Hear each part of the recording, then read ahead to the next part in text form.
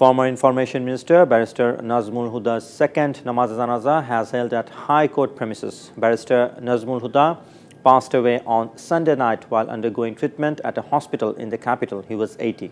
Huda breathed his last at Square Hospital around 10.25 pm. Huda is survived by his wife Sigma Huda, two daughters and a host of relatives to mourn his death. Born on January 6, 1943, Nazmul Huda served as the Information Minister between 1991 and 1996 and the Communications Minister between 2001 and 2006. In November 2015, Nazmul Huda formed his fifth political party named Trinamool BNP.